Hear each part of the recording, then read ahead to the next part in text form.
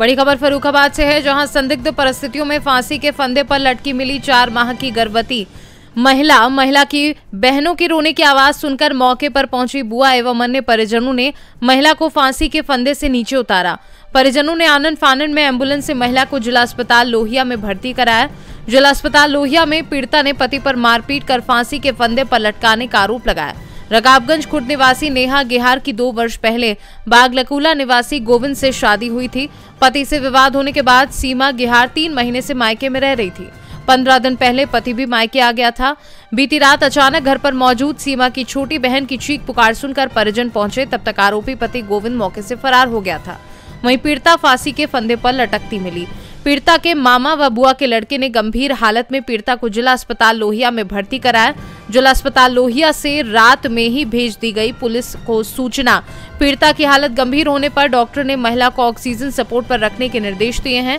मामला थाना मऊ दरवाज़ा क्षेत्र के मोहल्ला रकाबगंज खुर्द का है। क्या नाम भैया आपका? ये कौन है आपकी? बुआ की लड़की। क्या नाम है बिटिया का? नेहा। शादी होगी इनकी? जी सर। पति का नाम? गोविंद। कहाँ के रहने वाली है? टौनाल तहसील की। मोहल्ला कौन सा बताया था रकाबगंज ससुराल कहाँ है? ससुराल लकूला अच्छा अभी ये कहाँ कहाँ रह रही थी? रकाबगंज मायके में। क्या घटना हुई है? ये घटना हुई सर इसने पता नहीं था इसने फांसी लगाई इसके पति ने इसको हमें कोई जानकारी नहीं है। हाँ? पर इसने ये बंदे से लड़की मिली उसको मेरी माँ ने कैसे पता चला माँ को? छोटी बहन इनकी रोती हुई मेरे घर पे आई। अच्छा तो इनके इनके मायके में और कोई नहीं है? हाँ। मम्मी वगैरह? हाँ? मम्मी वगैरह? मम्मी इनकी इनकी मम्मी है इनके पापा भी हैं बाहर है कोई है। अच्छा जब आप लोग पहुँचे आपकी माँ पहुँची तो उनका पति कहाँ था? पापी थी भाग गया था। भाग गया था।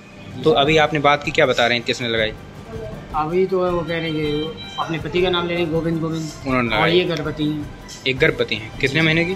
कम से कम चार महीने या तीन महीने की अच्छा तो उनके पति क्या मारपीट करते रहते हैं? पता नहीं इतनी मतलब सर हम तो फिर भी ये पता चलता होगा मोहल्ले में हाँ, विवाद पता बस लड़ाई झगड़ा होता ना रहता था बस आपस में।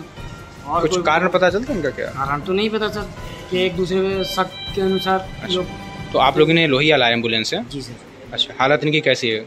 पता नहीं सर नॉर्मल है अब तो ठीक है। ऑक्सीजन लगी है? जी सर ऑक्सीजन लेंगे ऑक्सीजन पे हैं।